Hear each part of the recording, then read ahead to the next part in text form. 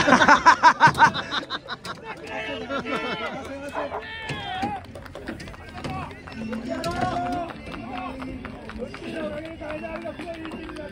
ん。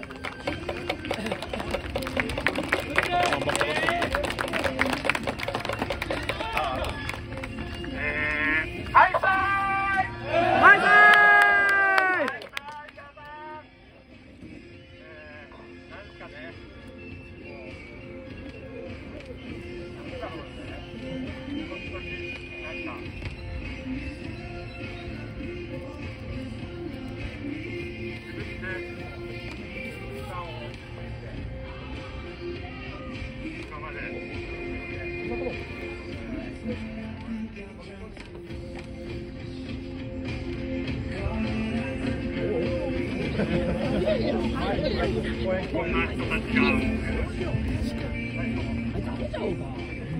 かなっていうのは今ちょっとこの1週間ずっと考えています。出ていくんじゃねえよ金出てくるんだろまたいやいやそれはですねちょっとこの先あるのでもうちょっと聞いてもらっていいですか？この話投げようと言わずにもうちょっと聞いてもらっていいですかよねえー、まあ本当にサッカーを通じて多分僕は聞かされていますけど、えー、感じたのも、えー2010年本当に、えー、世界ので正直僕は多分、えー、小学校5年の時からサッカーやってきて、えー、超弱かったんですねめちゃくちゃ弱い1年生も勝てないぐらいの、えー、チームに沖縄でずっとサッカーやってますでもサッカー超楽しかったですでもう本当は、えー、高校でサッカーやめようと思ってでも、え、大学で、えー、監督だったりチームメートであチームメートの出会いがあって、え、サッカーを続けてきてでやってきた楽しいなサッカーというところで改めてサッカーの楽しさを教えてもらいましたでそんな、ね、何もない内場を、えー、当時の佐賀君の監督が最後11月末それこそ何も決まってない時のもうリーグ戦も終わった後の、えー、練習の時に、えー、ミニゲーム大会だったんですよね。その時当時のシナさんと一緒に3対3のゲームをやったのを当然覚えてます。でそれを見てもうそこで当時の監督が一番もう来いと言ってくれて、えー、プロサッカーのキャリアをスタートしました。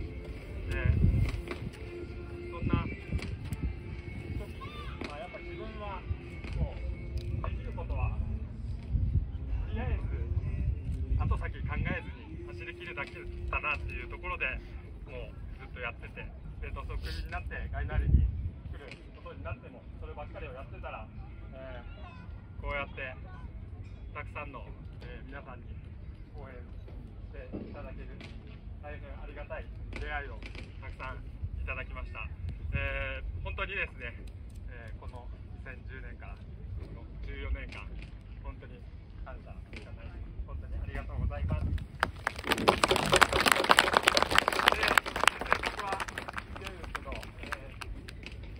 では18年過ごしてます。でも沖縄の18年なんて、えー、もう赤ちゃんからなんでもう社会のことが何にも分かんないですよね。高校生までなんて。でそんな自分をやっぱ大人として、えー、成長させてくれたのも、えー、この鳥取のじゃないかなっていうところを思っています。でそんな中でなんか自分の真ん中にあるものはやっぱ間違っていなかったんだなっていうのを思って本当に改めて、まあ、この1週間で感じさせてもらってますでやっぱその真ん中っていうのはやっぱり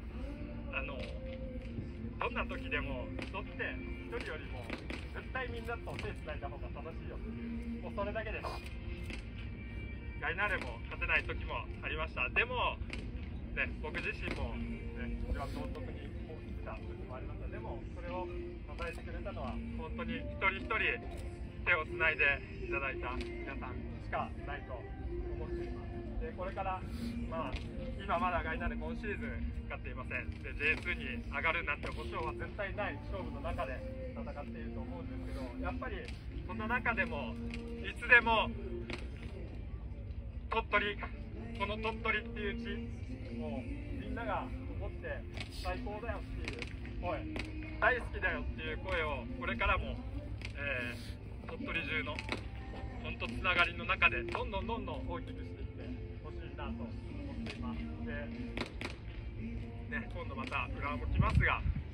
クラブがこの地にあるからこそのそういったところ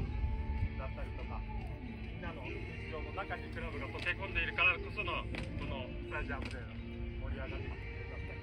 まあ、それ以外にも本当にもう訳のわからないような、えー、ちっちゃい子たちとも僕はずっとたくさんたくさん、えー、出会わせていただきました、えー、本当に感謝しかないです。そんな地にですねやっぱりいつかは僕行きたいなと思いますのでその時にはぜひうちうちがいなくなって鳥取めっちゃ良くなったよって言ってください。それぐらい本当に僕が今度宮崎に行きますけど宮崎に届くぐらいもう SNS でもいいです。地域の中ででもいいです。鳥取ってめっちゃ最高だよって。こんなところどこにもねえよって。人もいいし自然もいいしね。もうサッカーもあるしスポーツも何でもある。ね。もうご飯も美味しい。何でもいいです。そんな鳥取最高っていう声をですねこれからも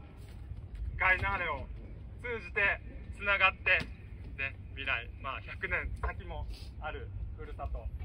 まあ、僕の多分第一のふるさとになってるかもしれないのでふるさとを消さないでください。全力でこれからもガイナーで鳥取をよろしくお願いします。本当に14年間ありがとうございました。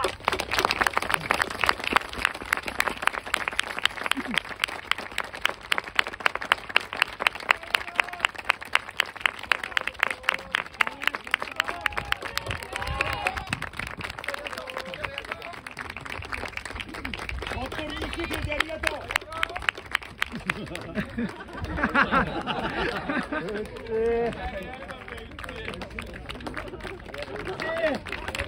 張れ。